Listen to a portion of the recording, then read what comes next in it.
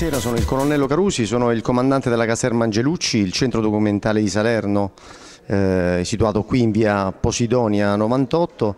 La presenza della Forza Armata con l'apertura di questa sede salernitana è relativamente eh, collegata ad un protocollo d'intesa che la Forza Armata ha stipulato con la mm, PMI International Italia. Sostanzialmente i volontari eh, dell'esercito, dell'aeronautica, della marina militare che sono congedati eh, dalla forza armata senza eh, demerito possono essere ricollocati nel mondo del lavoro attraverso questo protocollo d'intesa che sostanzialmente si identifica in un database, il eh, cosiddetto e denominato SILD, un sistema informatizzato dei, dei, lavoratori della difesa, attraverso il quale eh, la media e l'alta imprenditoria può trovare delle specifiche precipue professionalità eh, di cui necessitano.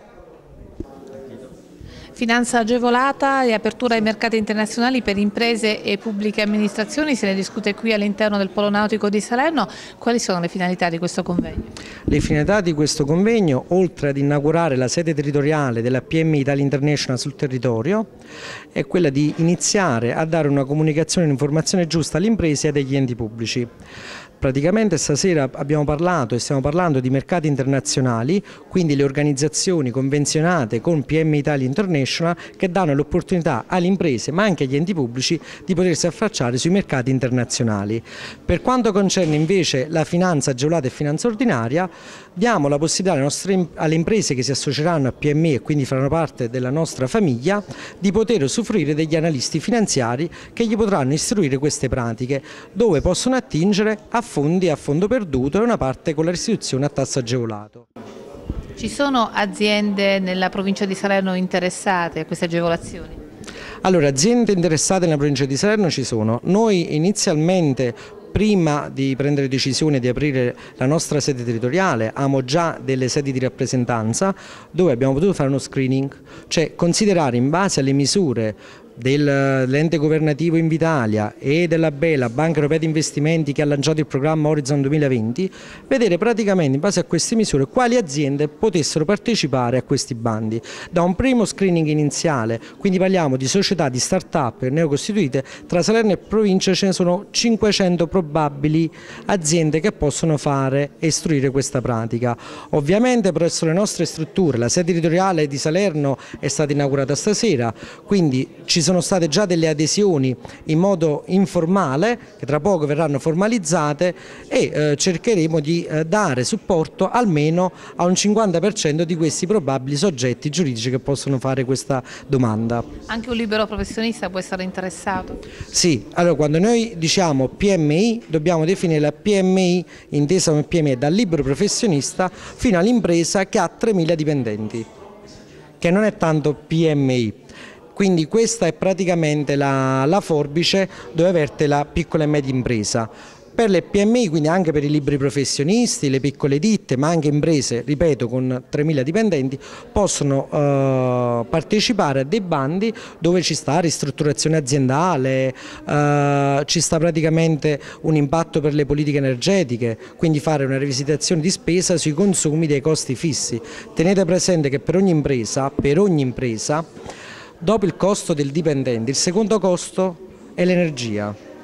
In alcuni casi il consumo di gas naturale perché sono le materie prime che ogni azienda ha bisogno per portare avanti l'attività. Cerchiamo di dare una mano e farle rendere competitive non tanto verso Italia per Italia o Italia Europa, devono entrare nella mentalità forma mentis che noi siamo aziende europee, quindi ci dobbiamo interfacciare con il mondo. Il carattere e posso dire che il convegno è già riuscito. Qualunque cosa diremmo sarà un, un di più. Eppure stasera di argomenti ne avete ricevere il vostro eh, invito a, a, venire stasera a moderare una un tavola rotonda così complessa di storie e di professionalità diverse, addirittura abbiamo anche amici che si occupano di primordine per l'internazionalizzazione, eppure il filo conduttore è proprio questo, quali sono gli strumenti che oggi le imprese, le professionalità specie del mezzogiorno, hanno, e quindi eh, sono le 19 e stiamo rispettando la tabella di marcia, non sarò io a deportare brevemente per darvi gli stimoli giusti e magari anche se ci riuscissi qualche, altro, qualche considerazione, qualche domanda. Per cui io spero davvero di finire prima per poter fare anche un secondo giro, siamo abituati spesso e volentieri a fare nelle cose televisive e nelle storie di incontri che facciamo tutti i giorni. Però consentitemi davvero con il cuore ancora di ringraziarvi e, e di conseguenza mi rendo conto che veramente c'è a sentire vivere e, e ritrasmetterla quando andremo a passeggio raccontando di questo sindacato datoriale che funziona. Eh, a questo punto io introdurrei il colonnello tavola rotonda.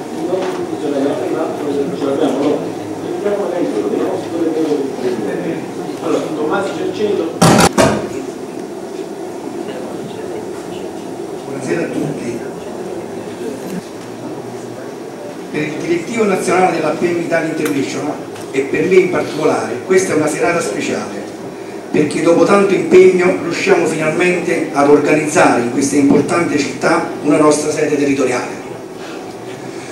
Tutto ciò grazie all'impegno di bravi imprenditori e professionisti salernitani che hanno preso impegno diretto alla tutela e alla promozione interessante e produttiva. Non a caso Salerno è una città in costante crescita, è una realtà vivace ed interessante agli occhi degli investitori. È importante scommettere qui, dove fatti e scelte indovinate dall'amministrazione comunale guidata dal vulcanico sindaco onorevole Enzo De Lucia per essere parte attiva in questo avviato processo di crescita e di sviluppo e per questi motivi la sede di Salerno diventa strategica per la PM Italia International. Che rivestono le operose 6 milioni di piccole e medie aziende, vero motore dell'economia italiana, a differenza delle tre più note sigle sindacali dei lavoratori, le quali nel corso degli anni con le loro trattative importante convention per annunciarvi le nostre iniziative avviate in questo ultimo anno, tra cui spicca l'apertura delle ultime sedi territoriali estere prima dell'avvio dell'Expo 2015 e di un'altra sede territoriale in Toscana nella città di Prato. Alla nostra iniziativa già in corso è il protocollo d'intesa sottoscritto con i nodi dei 24 comuni della attraverso la riqualificazione degli impianti sportivi in disuso o non efficienti e la creazione dell'albergo diffuso.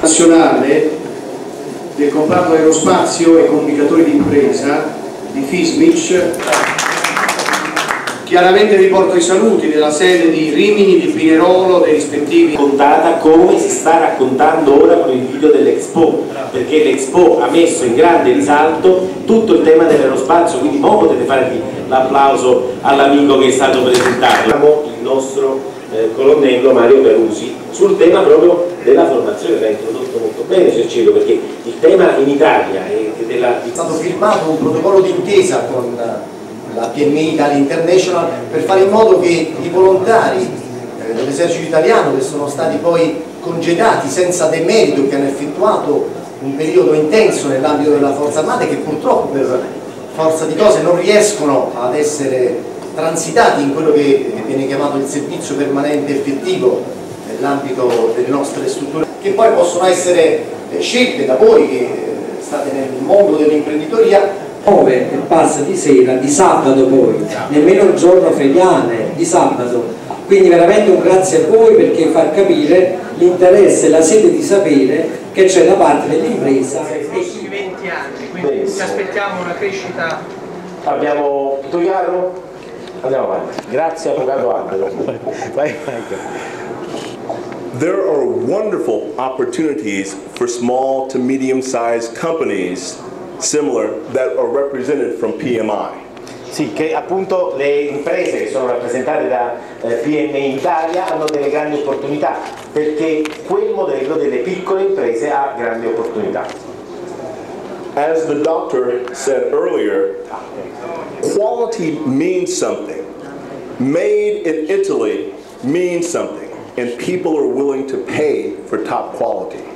Che come diceva correttamente, traduttori, come diceva correttamente il professore che mi ha preceduto, eh, traduzione efficace, eh, il tema del Made in Italy significa qualità che in Africa è molto eh, ascoltato, molto attenzionato. Sì. So, how does one do business in Africa? 54 different countries. 54 paesi diversi in Africa. The first thing you need to research which of the countries you want to focus on. Establish a network, establish contacts at the top. Do your homework, pre-plan. Know the taxes, the licenses, and also the port entry fees. Che c'è, esatto, che questo che grosso modo il sistema del governo locale, dei governi locali supporta la crescita delle imprese, che poi è quella cosa strana, ad aggiungere, ad esempio del Ghana, che è uno dei paesi che è più nella classifica mondiale del Fondo Monetario Internazionale e più avanti dell'Italia nel dare poi anche le licenze a fare impresa prima del, del, del nostro paese. Another thing that's important in Africa is understanding the business mentality. Respect is very important as well as impatience. Knowing how to, to work with the Africans sets you up for success. Conoscere la cultura e ovviamente rispettarla è, un, è la chiave per, per, avere successo, quindi una partnership con, con, i governi dei vari paesi è la chiave per, per, le imprese per avere successo nel loro sviluppo. Insomma. Okay. As the Chinese market opened up 15 years ago, as East Europe opened up 20 years ago, Italy and Italian companies were able to be very, very successful in those emerging developing markets. Africa will be that next developed market where they want Italian products and goods. Di alcune amministrazioni perché se diamo oh, il grazie a voi riusciamo a portare quella competenza, possiamo dare soddisfazione sia agli, sia agli artigiani che non riescono a trovare sbocco e io sarò lieto di portare all'attenzione di Barbara Graziani un accordo che personalmente ho sottoscritto con la Turchia, con il Ministero dei Trasporti e il Ministero del Commercio, non per trasferire le attività produttive all'estero, sono contrario, ma per dare lo sbocco a, alla crisi economica, al consumo, che oramai per problemi congiunturali non abbiamo.